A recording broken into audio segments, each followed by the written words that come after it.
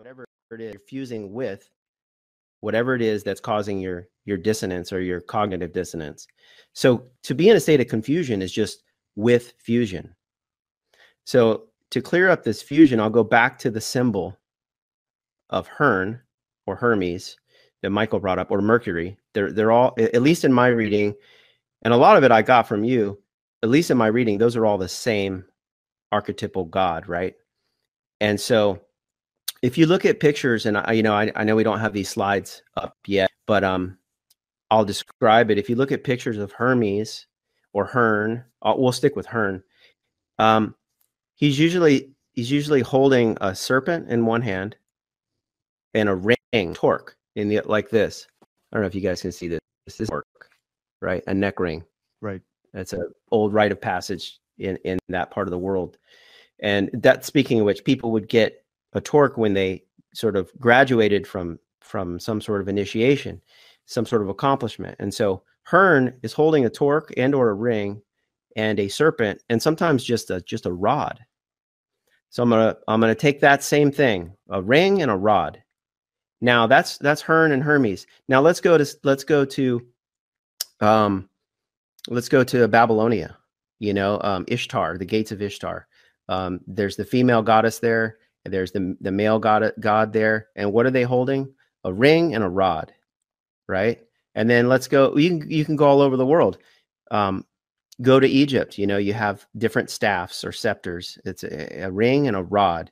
You have Zoroaster and, and Zarathustra, and you have the um. I'm I'm sort of forgetting the names of these things, but you have the you know the wing disc where um, I believe it's Zoroaster is you know standing in it, and it's really the sun with wings. And what is he holding? He's the god, the god of all gods, right? He's holding a, a ring and a rod. So what the hell? What are these symbols? What are we? What are what are they? What were our ancestors trying to tell us in these beautiful bas reliefs with these all this stuff going on? But the most powerful beings, the archetypes that we call gods, they're holding a ring and a rod. And sometimes they're holding other things, but very common, it's a ring and a rod. Well, what is the rod? Well, that's the phallus. That's the male staff, right? And what's the ring? Well, that's the vagina. And they're telling you about Genesis, the gene of Isis, the way in which birth comes through the female generation after generation after generation. And the, the gods are basically telling you, again, that the human body is in fact the temple of God and you need men and women to come together to make babies if you want to survive. If you want to experience God or spirit, the only way you're going to do it is in the temple, which is in the human body. The only way that, that you're going to keep doing that is to have babies or have a new generation to generate. So the gods are showing us that the ring and the rod is the male and the female coming together. And you can see this once you start to look at symbols and become symbol literate, you can start to see this everywhere. You can see it in the ancient pictures of Christ who's inside the Vesica Piscis, right? Well, he's standing upright. He's like the ring and and the the vesica around him is is the vagina. He's literally coming out of a vagina.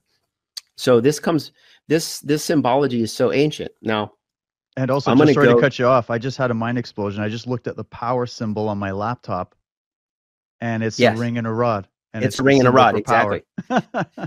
That's exactly right. That's exactly right. So, so I'll go into math real quick because because I want to talk about at some point. I just want to at least get this open so people can dig into it themselves. Is you know Paracelsus? All these people studied holistic thinking, right? And we look at things like phyllotaxis, the way plants grow, the way they generate, the way seeds generate and regenerate, the way that all seeds only generate well not all seeds most seeds generate they need to be in darkness right? Half the plant is in darkness in order for it to, to come out into the light. There's that as above so below that yin and yang that genesis that regenesis that balance. And um we have a symbol for that and we would call it a greek symbol but it's much older than that and it's the phi symbol and if people don't know what mm. phi is it's there's two different kinds of phi um but we'll just stick with the not to get complicated, it's it's a it's a ring and a rod, right? It's a circle, which stands for the female, the cosmos itself, and then there's a rod that splits it, and that's the male. And there's a there's a reason why it's split, because this symbol encodes everything that the the Hermetic Western tradition, alchemical tradition, Egyptian tradition, and even ba- ancient Babylonian tradition, it encodes everything. It encodes life itself. It's a split, right? All of creation is this combination between formlessness and the thing that's created, which we would call form. And so we have this duality, right? The, we you know probably get into Hegel, the split with Hegel, the dialect. Um, all of this is is encoded in this symbol of phi, and phi is the most common ratio in nature. So our ancients, once we became woke, once we woke up to this, we had to encode it. We did we did it in in huge temples that are the human body. We did it in pyramidal structures that are the fire. The pyramid is the pura, P U R E or A means fire to purify. We put it into that that symbol, and we put them all over the wor- world. And and every like all these cultures are pure have these pyramids, and we don't even know what they mean.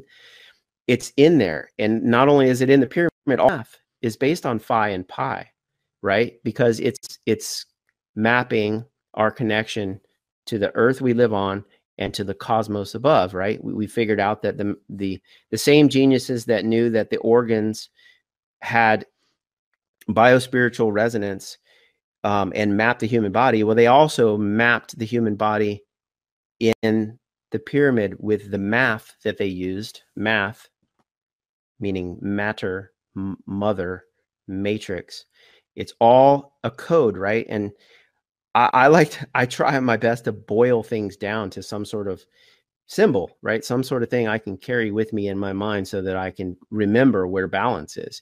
And so far, what I've gotten from the Kybalion, the Kabbalah, right? Kabbalah, three different t- aspects of the soul,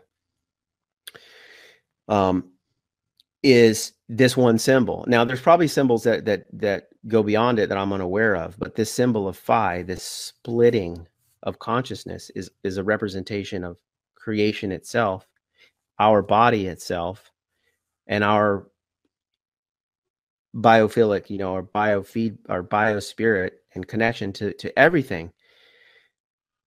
So um, it's also so. This is a, a large leap for people that that haven't studied etymology or language or symbols, but it's actually, believe it or not, the same thing makes plants grow, phyllotaxis, in that ratio, the phi ratio. It also affects the way human beings create science, scientific language. And I know that seems like a large jump for people, but when you start to look deeply into the Hermetic thinkers, the holistic thinkers, they started, well, they began with creating a system known as the alphabet that was not arbitrary. It was created solely based on its knowledge of the phi ratio in nature. So our our alphabet, the symbols that we use to make up words and have this conversation we're having right now, is literally a harmonic. And it was created by genius people. Uh, I'm not sure exactly who who they were, but they encoded it in in things like the Kybalion and that's why the bible has codes and that's why the, the you know because the, the the english alphabet is coded and the hebrew alphabet is coded and the greek alphabet is coded i know it's kind of a big long stretch but what's important is to realize that the human body itself is a harmonic code of nature and in order for us to make it through this this this time that we're in we're going to need to come back to the yin yang. We're going to need to come back to the balance. We're going to need to come back to the generative gender of generating, right? Of making new life. And what you were speaking of is a, a perversion of our language where they're saying, and same with you, Michael, where they're talking about doing away with gender by trying to make it fluid. It's post obviously it's postmodernism, right? It's it's all these these uh, pseudo philosophers.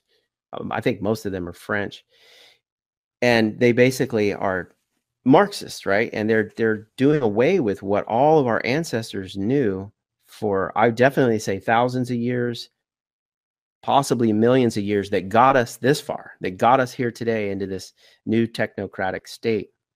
And so I'll finish this right now.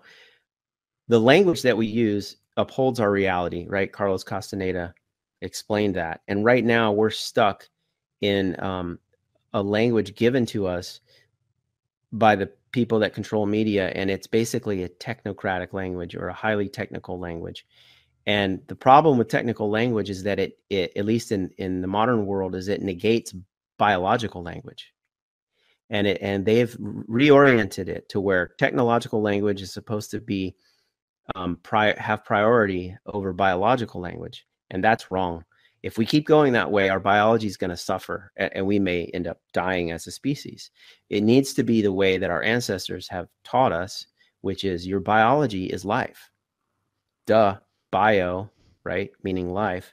So if you prioritize bio, biological language ahead of technological language, then you'll be living in a much greater state of balance. And cultures that did this are the ones that got us here. And we need to we need to heed their wisdom and we need to listen to them.